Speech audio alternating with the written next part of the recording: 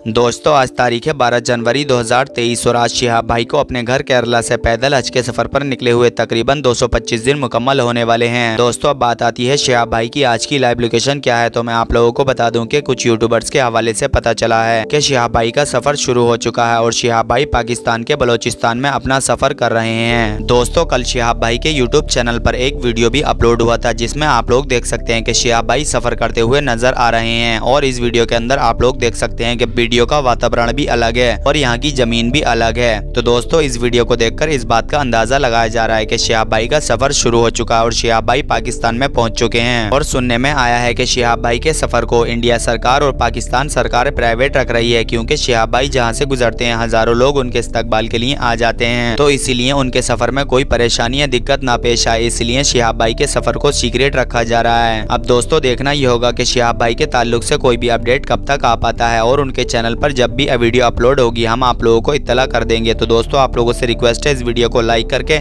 तमाम दोस्तों के साथ में ज़रूर शेयर कर दें और आप लोगों की इस हवाले से क्या राय है, अपनी कीमती राय भी कमेंट सेक्शन में ज़रूर दें।